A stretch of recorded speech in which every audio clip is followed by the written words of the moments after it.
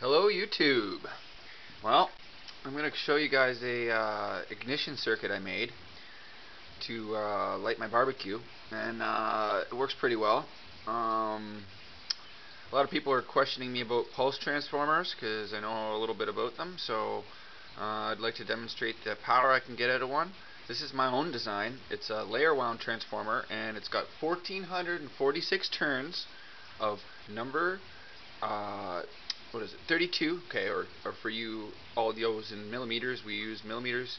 It's uh 0.2 millimeter wire double insulated magnet wire and uh, for the primary I've used 25 turns of number 20 or I'm not sure what that is in millimeters right now uh, I'm not looking at a conversion chart but anyway I'm running out of time so I'm going to show you what it can do with this uh, circuit. I'm not going to tell you the details because people could abuse this, but anyway, if you've got questions and I think you're worthy, I might show you. Alright? Test one.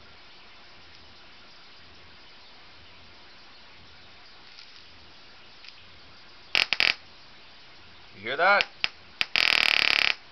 That's some nasty stuff, man.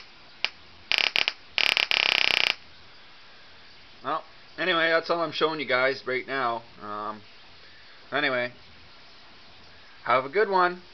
Peace. Rate, comment, and subscribe.